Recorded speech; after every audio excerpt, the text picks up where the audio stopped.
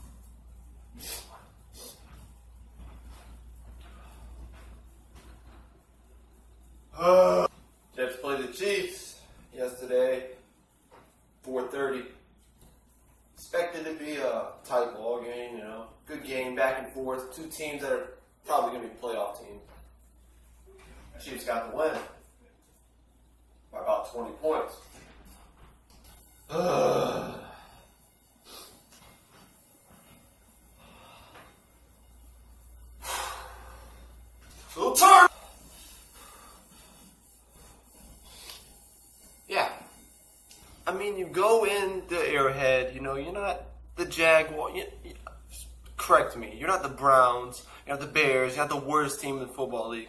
You're expected to compete with everybody.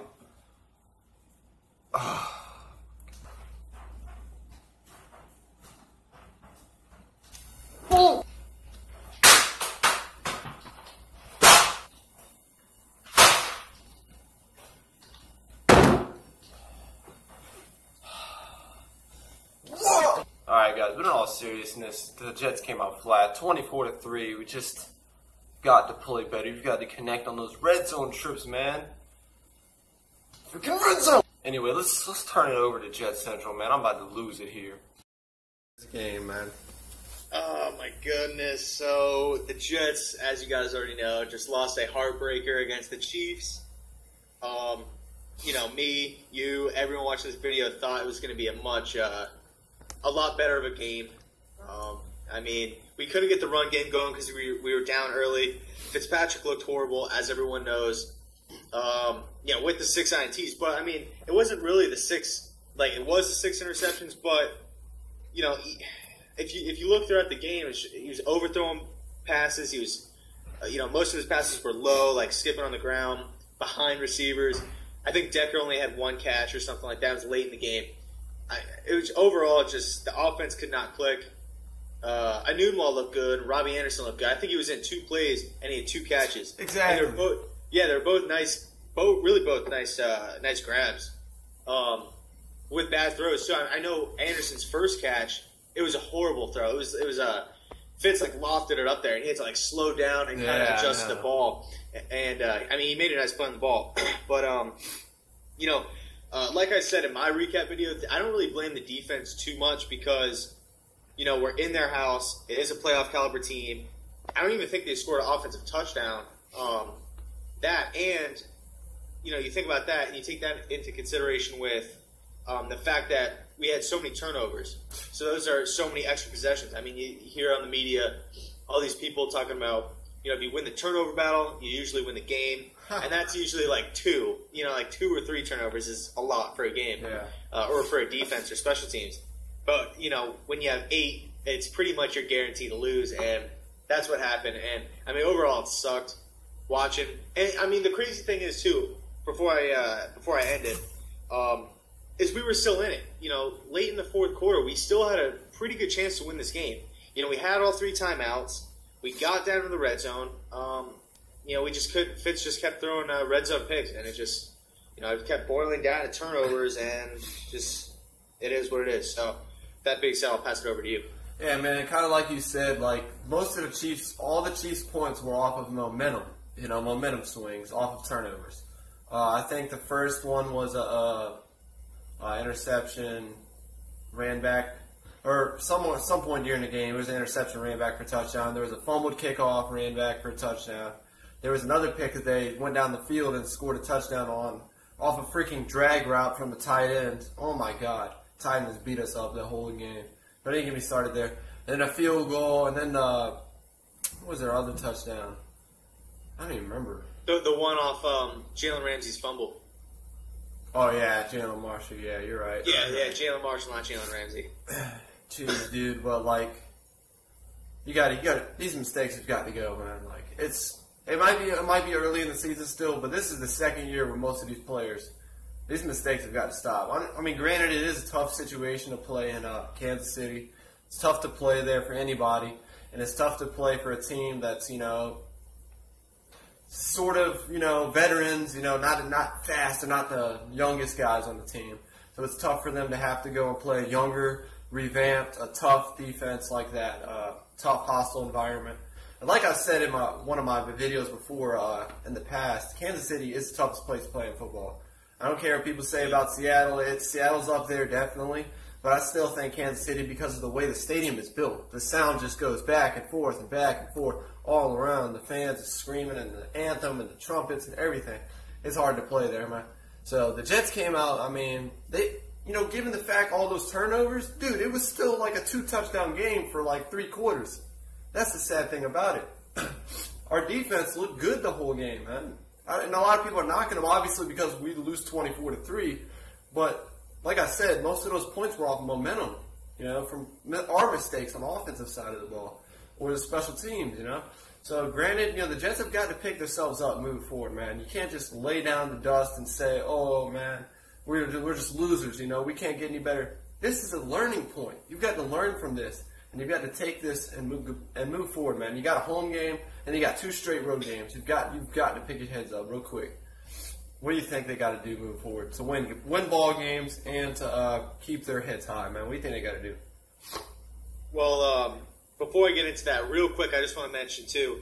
Um, a couple years ago, the New England Patriots were kind of the same situation. You know, veteran team, uh, were feeling down and out. Everyone's kind of counting them out, and they lost big time to the Kansas City Chiefs in Arrowhead Stadium, and I believe they went on to win the Super Bowl. So if you just want to take that, you know, think about that. I mean, I, it's Wow, you I didn't even think about nothing's It's guaranteed or anything like that. But you know, it, I'm just saying that because you know we we're not we- we're not the only team that has been in this situation. And they were 0 2 after that loss. So everybody's like, is Brady Belichick finally over? Yeah, is it is it over? No, they come back stronger than ever. You know, granted, it is a different coach and everything like that, but no, nonetheless. Go ahead. Yeah, um, yeah. Uh, so you know, I the loss sucked. Don't get me wrong. Fitz sucked. The off, everything about the game just was bad from the get go. Um, but you know, the silver lining of this game is it's early. It was, it, you know, imagine imagine if you're like a Dolphins fan right now, like struggling against the Browns, home opener against Cody Kessler making his first start, and in reality, the Browns should have won that game. You know, they bunch of missed field goals, and they even had an opportunity in the end of the game to win it, but he missed. I think he missed three field goals. Beside the point. The point is, we lost to a very good team. Oh, yeah. Uh, I'm not. That's. I'm not trying to uh, like sugarcoat or anything like Right. that. A loss is a loss. We still got you know beat down, Oh, yeah. but you know at least it's a it's a at least um, At least it's you know early. I, I can guarantee you Ryan Fitzpatrick will probably not have this bad of a game for the rest of the season. Um, you know he's not the greatest quarterback. He's not a top ten or maybe even a top fifteen quarterback in my book or in my eyes. And um, but you know it's pretty safe to say that he will never throw six picks in a in a game to zero touchdowns in a game for the rest of the season. So that's something uh, that you know we can look at.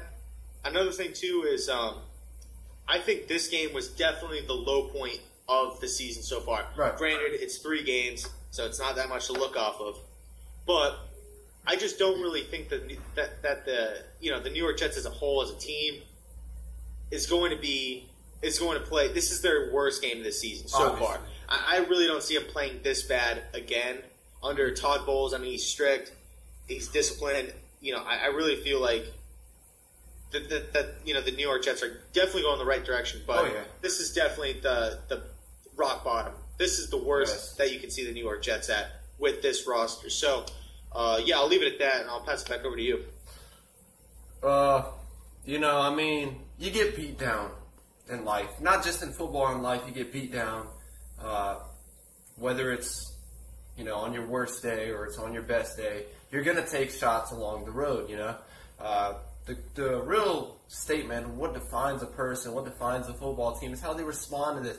So I'm going to be looking at that Jets and Seahawks game this Sunday. A lot of people are doubting Seattle. A lot of people are praising Seattle. Let me tell you something. When you've got to make that trip across the country, you've got to go from the West Coast to the East Coast, or the East to the West. It's not easy. It takes a toll on your players, having to readjust. You know, like I was saying with the Dolphins and the Jaguar, or not the Dolphins, the Dolphins and dang, what was it, Jackson? Somebody took a long road trip, uh, I think last week, uh, uh, across the country.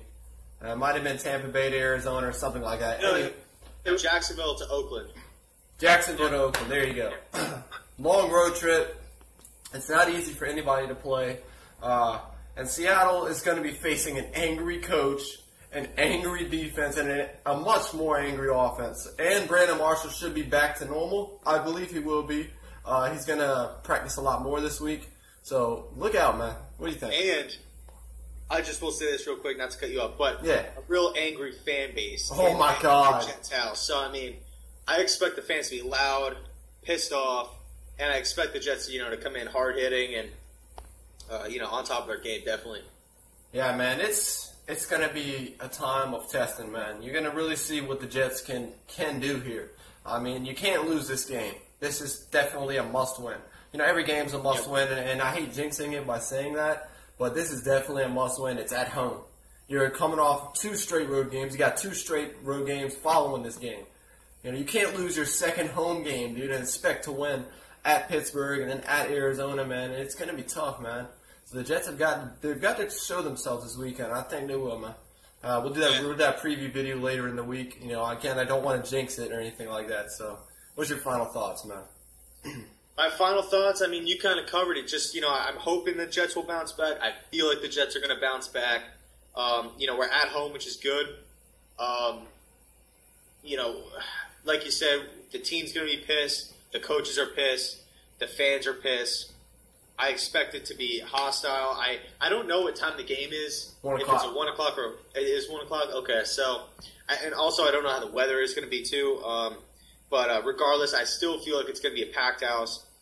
And then overall, I think the Jets are just going to be not only pissed, but mad, not only mad at you know the outcome of uh, yesterday, but mad at themselves for letting that happen. Exactly. You know, Brandon Marshall had a quote after the game just saying that it wasn't on Fitz, or like not all of it's on Fitz, obviously, but you know, it's it's part of the veterans' uh, fault too, and just as a whole, the the team needs to kind of come together as a unit to bounce back. Um, but uh, you know, to, I'm not trying to end my segment on like a negative note, so I will leave you guys with this. You know, this is week three. Right. You know, uh, we lost to a playoff team in their house with Ryan Fitzpatrick throwing six picks. Um, with an extra two more turnovers, they don't turn the ball over once. We don't have an offensive touchdown, and yet we lose by three scores. So it's week three. I expect us to bounce back. Um, and, and another thing too, I was actually talking to my man Matt B uh, over Twitter, and uh, we were just talking about you know the Jets uh, season and whatnot. And uh, I, I was actually looking at it, and we have a bunch of you know winnable games. And I'm not talking about like oh Jets Steelers, like yeah we're a good team, they're a good team, it's a winnable game. No, I'm talking about we're heavy favorites in my opinion. You know we got the Dolphins twice, we got the LA Rams, we got the Niners, we got the Browns, we got the Ravens. I think we have the Titans. So I mean those games right off the the, I just rattle them off one, two, three, and it's like those are all games that you can easily see the Jets winning. Yeah. So by no means we're not out of it. Um, you know, a lot of teams went one and two yesterday. Bengals lost, uh, Chargers lost. Um, you know, I could I could go down the list um, Yeah, on how many teams, how many how many um, teams are also one and two, and even if you know, even you look at the three and O teams. I mean, three and O team, we're not that far about the breaks. Yeah, we do have a tough schedule coming up, and you know if we do go one and uh, five or in the in the stretch, you know that could be some trouble. Um, but I'm just saying, let's just pump the brakes a little bit. There's still you know so many more weeks left in the. I, I mean, look, look at the uh, Chiefs last season. Where did they start? One and six Yeah, something like that. and they made the playoffs. So I mean, anything could really happen. Um, the Jets are a talented team. Jets are a smart team. Um, I'm hoping we definitely, I, you know, I, I hope we bounce back, but I definitely think we will. Um, I'm just hoping that they don't let us down. So Yeah. that being said, I'll pass back. Another thing, man, the Jets, you know, despite the loss, they are a really well coached team.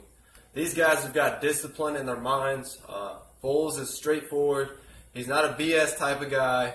He's not going to uh, sit there and, and yell at the uh, reporters. He got mad. He got real mad.